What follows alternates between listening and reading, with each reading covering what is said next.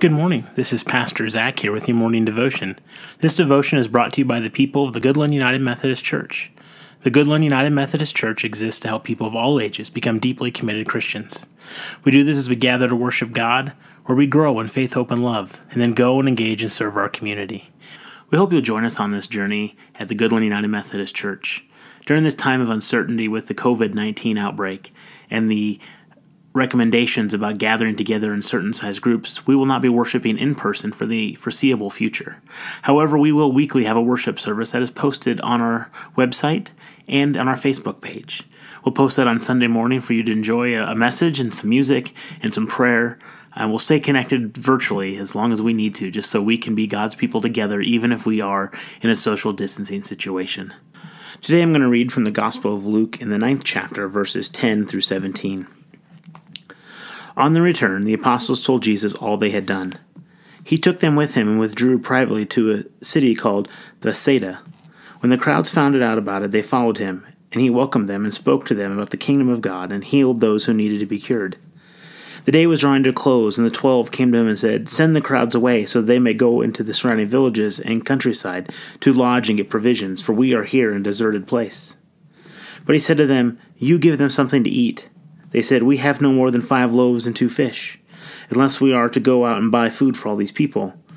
For there were about five thousand men. And he said to his disciples, Make them sit down in groups of about fifty each. They did so and made them all sit down. And taking the five loaves and two fish, he looked up to heaven, and blessed and broke them, and gave them to the disciples to set before the crowd.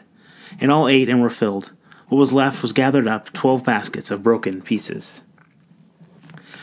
As I read this, I think about the times we're in right now and the uncertainty and the struggle everyone's having with maybe isolation and fear of the unknown disease that's before us.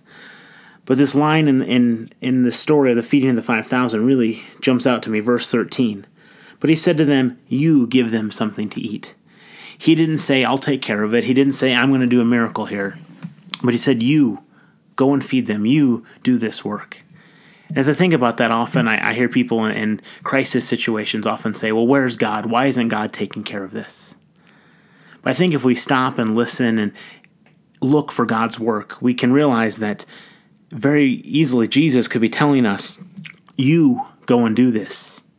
You listen to what the experts are telling you. You do what you know you need to do. God isn't going to always just create a miracle in front of us. Sometimes God enables us to be the miracle workers, to us to be the hands and feet for those who need it.